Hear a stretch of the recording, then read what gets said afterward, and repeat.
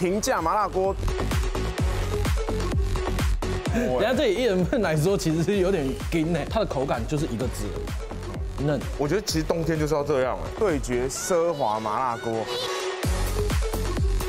麻辣火锅，麻辣锅做无菜单。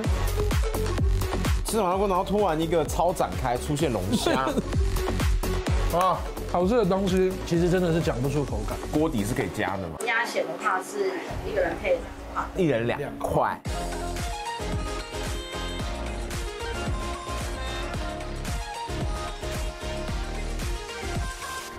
就是要对决。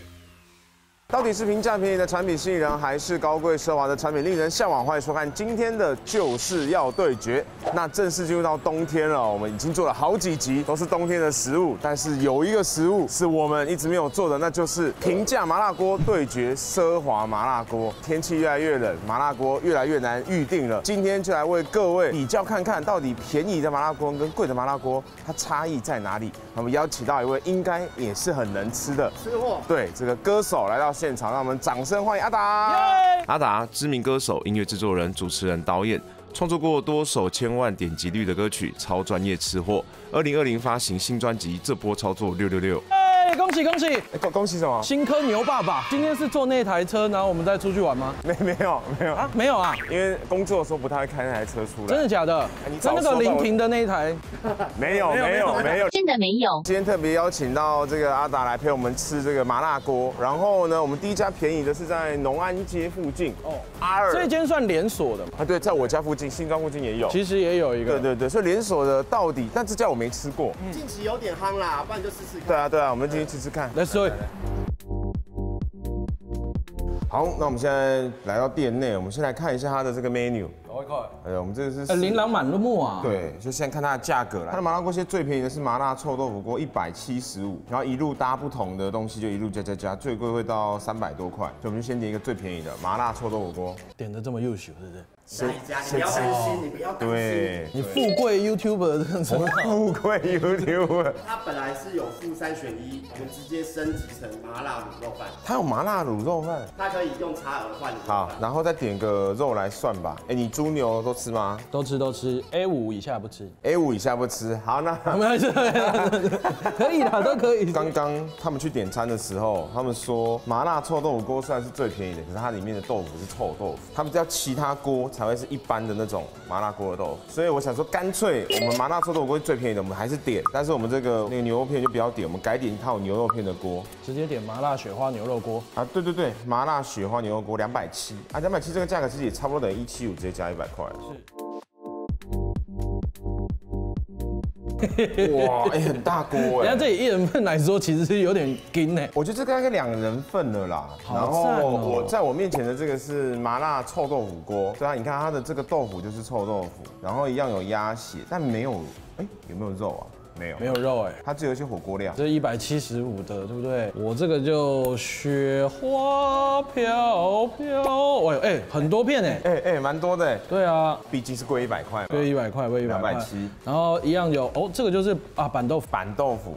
对哦哦哦哦哦，这个入味指数应该有到五十八点四八，哇哇，这么精这么精准，是不是？它没有到真的超级便宜，可至少一个人或两个人就可以吃。因为麻辣火锅大家都觉得要一堆人吃，五个人。某间麻辣火锅很不错，就你一个人去吃，他让你吃，那他对面会帮你放一只超级大的熊熊宝宝。哎哎，我知道，通常去吃海底捞都是一群年轻人去吃，对，所以你就会自己一个人去吃，又会更孤独。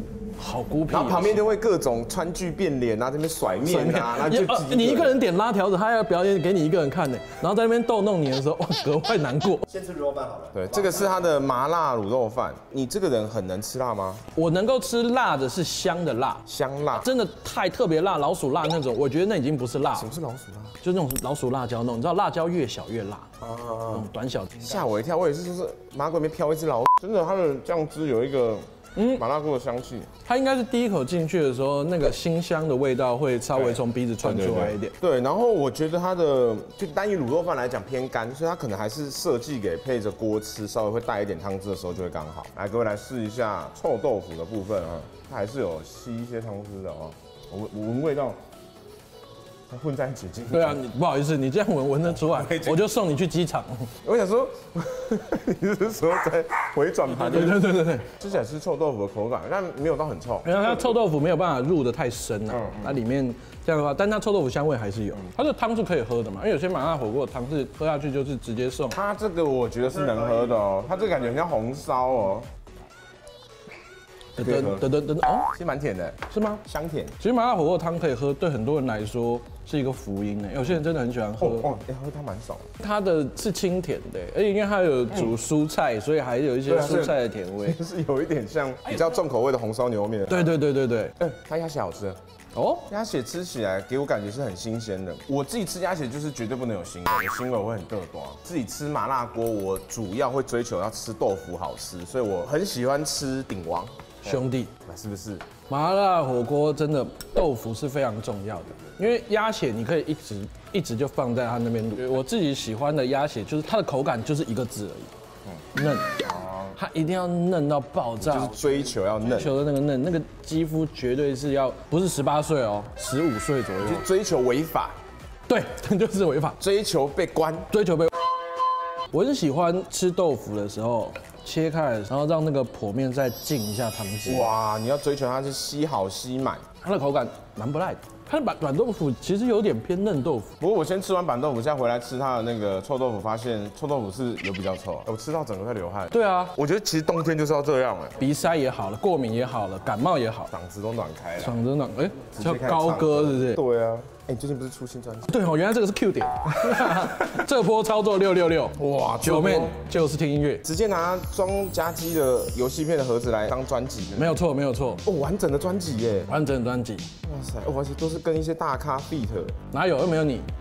差就差我一个，各平台都上了，各平台都已经上，然后 MV 都已经慢慢的在试出了，大家可以到我频道看一看。啊，为什么会用这首歌做，就这波操作六六六当做专辑的这个名字啊？唯一一首可以概括这所有情绪的，就是这波操作六六六，其实是在讲游戏的，所以就是有鸟屎六探他们，哇，跟很多跟很多我，因为他们都是打打打打电动，所以我们就讲说啊，用这一首歌就是来代表出这张专辑的操作。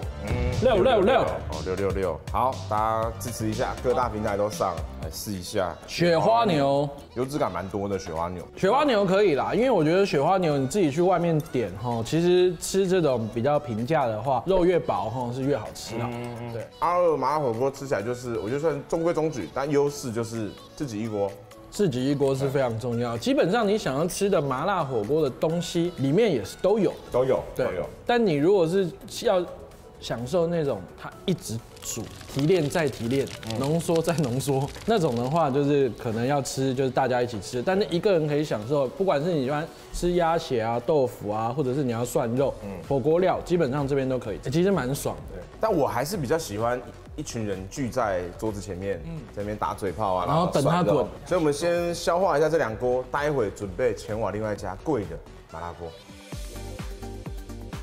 各位，接下来呢，奢华的要来了，麻绳，麻绳，哎，麻绳你有吃过吗？麻绳我有吃过，哦哇，厉害，因为麻绳我没吃过，因为我啊，常常听人家讲，对，常常他们跟我说的麻绳多好吃多好吃，然后就想说啊，应该很难订。麻绳这名字光听就很臭屁。地段是在蛮热闹的地段，在松山区，可是。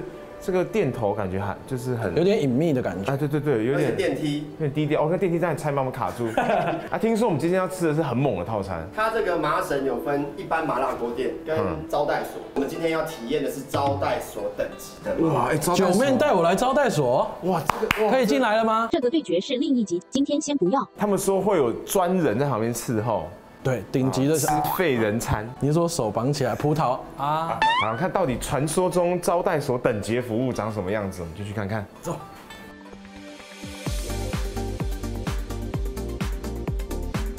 那因为是这个招待所等级，所以我们给了我们一个蛮隐秘的包厢。是世俗的节目，我们先来看价位，所以现在看一下菜单。哎，今天我们这个没有菜单，无菜单。麻辣火锅是无菜单做无，菜单，对，我们今天吃无菜单的，正常不是日式料理才做无菜单吗那？等一下会配备管家，嗯任何嗯需求请你们自己要求。哦那我们哦，吃的是套餐，一个人三千块，一个人哦哎，，一个人三千块。麻辣火锅一个那一桌四。个不就一万二？对对对所以所以我们直接问管家。对，我们现在先请管家好了。你好，两位午安。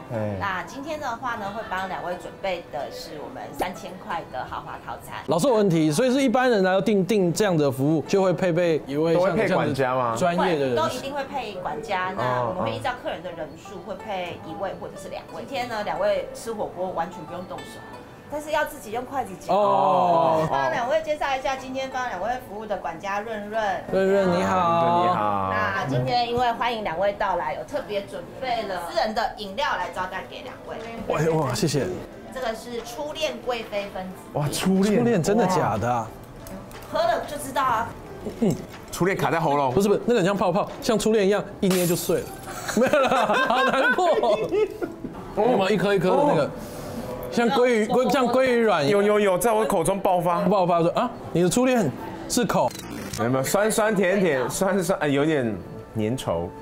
哎，它里面那个是有一点果肉的，你就越讲越歪，你这支片会黄标，酸酸甜甜。酸酸甜甜，啊，好特别的口感。那我们照例还是要询问两位有没有需要拍个照跟啊要要要，这一定要先喂手机吃一下啊！而且它还有摆盘呢，拜托，哎，它还活着嘛？对对，对它还活着。所以对着摄影机看一下，第一道先帮你上生牛肉煮腐醋，那这可以直接吃就好了。哦，生牛肉果醋。你平常是敢吃生牛肉的人吗？很喜欢耶。很喜欢哦。嗯，它叫有点酸酸的开胃。嗯它这个主要是前段是果醋的酸跟香，然后咀嚼一下开始有一点点牛味进来。它牛味其实蛮香的，而且整个口感吃起来是甜的。嚯锅来喽！还没，还没。这不是啊，啊，这不是这是只给我们看前。菜的汤，对而且一定要喝完我们才会上下一道。没喝完，下一位 NPC 是不会进来的。那这边帮我们上下第二道菜化骨凤爪。哇，这个凤爪这爪凤，爪这么完整的，它是凤。凰还是孔雀啊？哇塞，它好大只哦。来了，嗯嗯，它凤爪很厉害哦，哦入口即化，它真的是化骨绵掌。嗯，化骨凤。哦，我刚刚一一口这样下去，然后一吮，它整个就变成骨头嘞。一吸一拉，整个就出来了，跟那个胶质感跟那个香气是很满足的。然后它要撒一点点气味粉，所以其实在中后段的时候，层次又稍微拉了多拉了一点点层次出来。重点是它的卤香很香啊，哦，对，有乳那个乳香嗯味很香。那这边帮我们上第三道菜是我串串香，这个锅的话是要丢放下去锅。所以这不是麻辣锅哦，还没到。这是拿来串的。对，煮串串香的鸭肠啊。哦鸭肠啊，妙了吧？牛舌。好特别的感觉哦我哎，这真的小鸟胃的人，这道完就饱了吧？这是一人两串的意思对，吗一？人两串。哇，这个分量很可观哦。对啊。那个辣油滴上去的感觉很棒哎，哦呦，哦呦，好像为你人生增添色彩。来，我们来吃个牛舌，对，厚切哦，这个厚哇，度，很厚啊。我觉得它这个牛舌原本有点担心太厚，可是其实还是都有入味的。我原本以为太难嚼，然后呢，牛舌的话，它吃起来口感最大的不同跟牛肉是它会比较 Q 弹，像吃筋筋的那种感觉，越嚼是越香的。然后它麻辣的香气淡淡，我原本有点担心辣油会不会很辣，可是我觉得有辣油有点画龙点睛。我想吃牛小排，我看它很久我，还在咀嚼牛舌，这要咀嚼很久。我不等你喽。好，嗯露出姨母笑。好赞哦，嗯。我家那个蒜段也很香，嗯，它其实蛮大块的，可是应该咬下去，它那个感觉是咕噜咕噜咕噜，它会有肉汁跑出来，而且它调味都不会太重。它第二段是那个吗？那六两是我们牛的肉这边。哦，好 Q 哦。麻辣火锅大家吃会觉得味道很重，但我们现在吃得到麻辣的香味，对，没不太辣还有食材的原味。几乎不辣哦。对啊嗯，它就真的是只取其香。嗯，我还有觉得问一下，因为刚刚他又换了一锅，通常只有日式烧烤那种对会这样换很像换。烤网这样一直换，所以为什么又要再换一锅麻辣锅？刚刚那一锅是我们煮串串香的汤，嗯，对，那不同浓度了。对，不同。这个是我们原原汁的麻辣汤，所以真正的麻辣锅是现在才开始。对，现在才开始。哦。而且要吃鸭血的老铁。哦，刚才聊说哪一家鸭血好吃嘛？对，然后刚刚他们就说，你吃到我们的鸭血之后，就不会再想吃别家的鸭血。哇塞，那你们的那个锅底是可以加的吗？基本上鸭血的话是哦，一个没两块。第一次听到鸭血一人只有对，两块又很精准的，还不是一人一份哦，它是一人两块，代表他鸭血花的成本或是工比较高，所以才会会不会有可能他鸭血来一块这么大块？我们吃我们的鸭血的话，要用我们桌上的刀叉。天哪，哦。好精致哦！我第一次看到一个碗，然后就这样子调好角度放一块鸭血。而且他们有说必须要用刀叉，他们说说不用过来骂客人会的，会打手的。啊，会打干什么？干什么？哎，而且他们说用刀叉其实是有讲究的。他说用筷子夹的时候哦哦，他会把里面的汁给压出会挤来。到。哇塞，哇，这种以后压力很大 压力很大的。哦我要先喝一口汤，对，先喝一口。直接喝，他马上直接可以喝的。对，我们要放这个。好，试试看。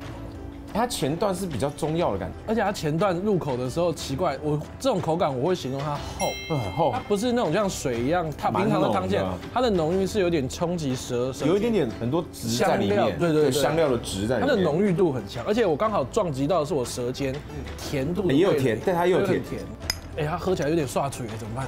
嘿，有点像是很好喝的中药哎。对人生第一次用刀叉吃鸭血，哦，这个端度，嗯嗯，哎，它叫什么？它叫果冻鸭血。哎，你看他说的没有气孔，真的很厉害哎，。真的是几乎没有气孔。它那个绵密度只有给大家高哎。看看啊，哎，give me back，give me back。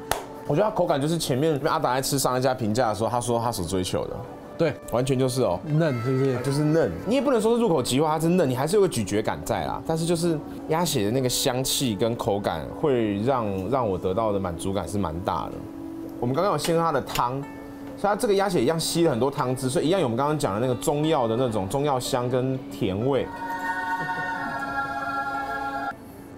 你知道这种开心的程度，就是它那个入口，就真的像在吃果冻一样，那个果溜感入到好像他们本身就是对，从小一起长大。它那个入味程度是冻结了这个汤汁在它的体内。对对对。对对，仿佛它是用汤汁做成的鸭血哎，。对对对对，可怕的是这样子，你一口下去之后，你那个擤一下鼻子，那个香味会从你鼻腔重新窜出来。哇，你真的很厉害。正哦。哎，我第一次这样子压起来一块一块，然后就很珍贵，要给你哦。我们去正常都是一口气这样一锅这样。对啊，丢下去都会切个两三片的。而且还会弄碎很多在底部。啊，对对对。不过我必须说，它这个汤头也不见得每个人都会喜欢哦，就是要能够接受它这个中药香、中药的那个厚哦，度。因为我是很喜欢。然后再来帮你上我们的那个小这莫非也要用台南牛肉汤的手法，直接去烫它？好炫泡，哇！真的很赞。因为正常牛肉汤都是清汤居多，用麻辣汤去穿烫的比较少。那帮您介绍我们的牛小排有三种不同的吃法。哎呦，第一种吃法的话呢，是先品尝原味，所以放一片牛排排在您的汤匙上，然后带上一点汤哦汁，，直接吃。整个吃到吃到嘴巴里面嗯。嗯，它前段已经一定要有喝汤的那种中药感，搭配这个牛小排咀嚼之后，牛小排的甜味也会进来，就延续下甜去。上加甜，对对对，现场得糖尿病。还有那个肉质感，还有，哇，哦，好好吃，这个有点厉害哦，我懂你说的。是吧？这这是一个 combo 的概念啊，哎，对，好可怕哦！它的那个甜是就已经有一个甜味出来了。对对对但是你肉汁咬下去的时候，棒，又一拳打出来。它会接力耶，哎，combo，这真的是对 combo。对第二种特别，包上我们的蒜粒，要用包的哦。好坚持。对，包进去就对了，好，这个是嗯蒜，把它切成一一小段一小段。哦，啊，这个层次会咬下去会爆开来，对，没错，一样还是要搭配一点点的哦，汤还要汁。搭一点汤，那一样是一口送进去，会先吃到肉的甜味，然后接下来是这个蒜的香味。嗯，我原本就担心那个蒜粒会有点呛，这其实不会，尾韵是有点蒜粒的清甜，我觉得它这个吃的顺序是正确的，因为先吃这个，后面就没那么有对对重感。对，要先吃，就是要一慢慢加，慢慢加。而且它好分离，它没有打架。重复刚刚第二种包上蒜粒的吃法，只是多增加了刚刚这个辣油，一个是原味，另外一个看到里面有这个香料的是迷迭香口味的辣油。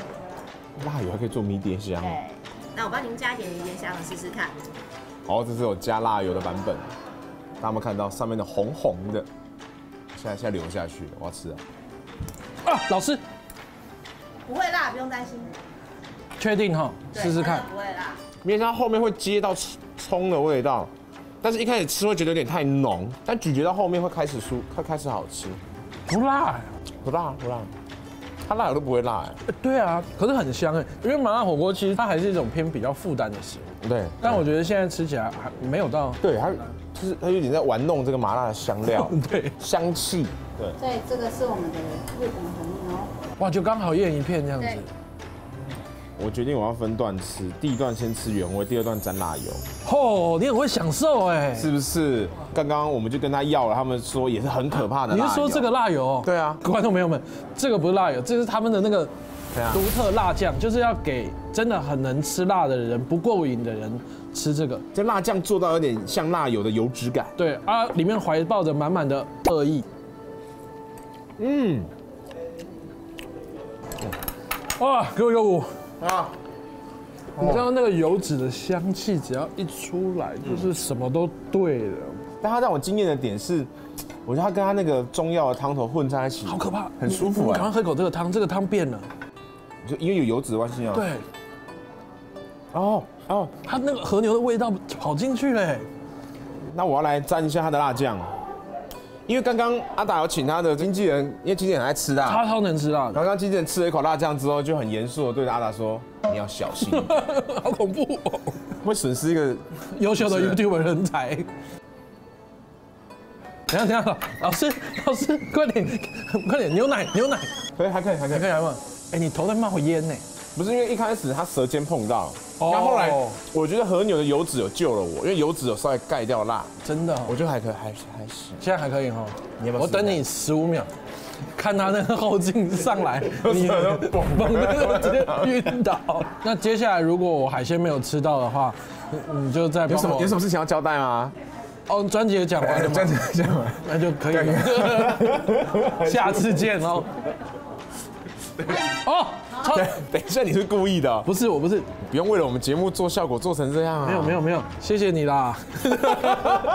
不会啦，我觉得我觉得和牛的油脂感会盖掉，如果一般的瘦肉不行。好香哦，其实好吃的哎，其实还好啦。太夸张了，有一点点呛，后面来了，舌头有点麻。接下来帮你们哎，这怎么切成这么薄啊？第一次吃麻辣锅这么慎重的在吃到萝卜对啊，哇塞，这是什么东西？天哪，这个很酷哎！第一次麻辣锅这么隆重的吃一个萝卜，他还帮我们卷成这种像花瓣的形而且他刚刚手速很快，嗯，没看到他们胡弄上来就你不注意，他就把它转成这个样子。所以这个直接这样子咬起来对，整个这样厚厚的吃，就会觉得它都吸饱了萝卜界的 Lady M，它是算千层，Lady M 又是千层界里的爱马仕，所以它是萝卜界的爱马仕。好特别的东西哦。它主要就是萝卜的口感搭配吸饱的汤汁。接下来我们换清汤锅了，换昆布锅嘞。哦啊，煮海鲜了，是不是？龙虾的虾膏。哦，这是汤哎。对，哎，虾膏在这种清汤里面，我第一次吃到，我也是第一次看到这幅光景，真的不讲很像什么花草茶，嗯，特别。它有一个算是淡海胆的味道，嗯很，淡的海胆的味道。这一轮吃完应该会饱啊。哦，其实基本上吃麻辣火锅吃到这番田地，吃麻辣锅，然后突然一个超展开出现龙虾，而且是用昆布锅煮的。这不是下一集吗？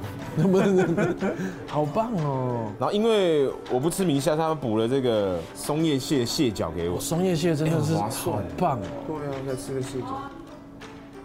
它松叶蟹脚还有淡淡的海水味，然后口感很好。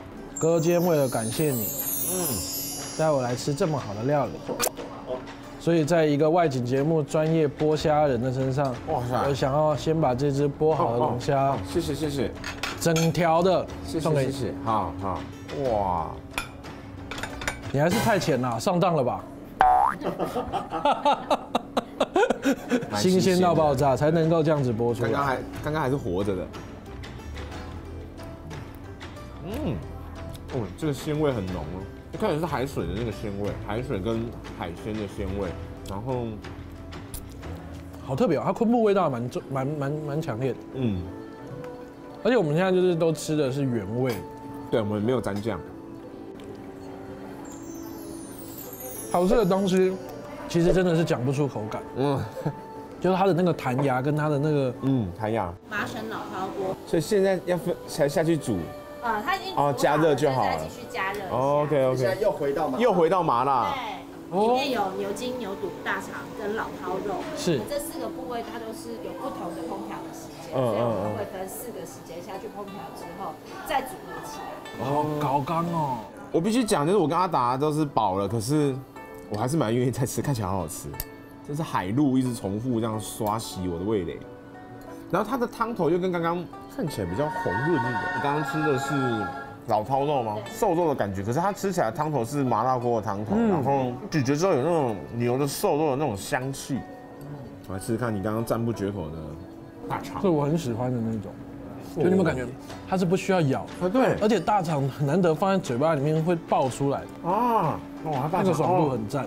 牛筋哇绵密，哦，牛筋很好，哎，牛筋也很好吃。对，那个牛筋很绵密，哦，这牛哦，哇好赞哦。烹调的话，你们可以淋一下辣油，然后呢，再用刀叉把它切开来分次吃。油条用刀叉吃，油条可以加辣油啊，再加看。对，我有淋上辣油，这个脆度应该是很多人喜欢的油条脆度，就吸了一点汤汁，但还是脆脆的。那个声音是对的吗很刚好，是吗？标准。就是它外皮有一点点软，但里面都还是脆的。哦，这个其实还蛮脆的。哇，我懂了啦，我只能说我懂了，就是你嘴巴碰到它的时候是软的，然后这样咬下去，里面那种饼干感还是有脆，感。我好不舍得哦。哇哇哇！哎，这个面刚刚煮一下而已，所以你看它的硬度都好像还在有。点脆脆的感觉啊。嗯。就前面吃前几道有喜欢他们加辣油的话，就会觉得这一道哇，虽然有点有点 l o 有点辣，但是你知道我要怎么评判一道菜的辣度吗？怎么明白？看你鼻头有没有冒汗。那这边帮两位稍微介绍一下人参鲍鱼燕窝鸡粥里面的食材，就先从米开始好了。嗯这个米比较特别，它是采用宜兰的鸭尖稻，生食等级的贵丁鸡，野生的花旗参，食用六年的花旗参，然后燕窝跟其他的一些这个中药材中药材的部分下去一起熬煮。哦，人参燕窝鲍鱼生鲍鱼燕窝就这么浓缩浓缩提炼提炼，辈子没吃过几次燕窝，因为吃燕窝应该算是比较老派的有钱的，年轻富豪好像不太吃燕窝。然后燕窝是这样子，我不太懂吃燕窝，因为燕窝通常都是做甜点居多嘛，冰糖燕窝嗯什么，做粥的好像很少见的。做汤汤比较多。哦，它的这个粥吃起来，因为也加了很多中药材啊，所以是吃它枸杞的味道蛮明呃显，枸杞味道蛮重的。但我必须说有一件事情是我虽然饱，但我没有到负担很重的感觉。哦对，但是如果他待会送来一个什么很厉害的甜点，我们可能就还是会，哦，我没问题，我甜点会分开的。嗯，你你也是，就看到甜点，我也会开始瞧空间。对对，我们等下可以再拍一家甜点。我们处理一下，哦，没有没有没有，他们本身就是两栋。本身就两栋。这个是冲绳的黑糖，它的甜点，你们想说会不会是什么红豆汤啊？我以为是冰那一类哎的，冰之类，结果竟然是馒头，好可爱，好精致它是来自冲绳的黑糖。哇！哎哇，他们有强迫症，他们连馒头都做到没什么气孔。哎，真的哎，对啊，哎，真的哎，好棒啊！还是它就是有一种呼应鸭血的感觉。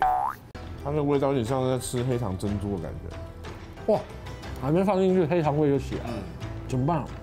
我想吃完了。我觉得好饱，但是我对，哎 哎哎，我先我先走你。先走了。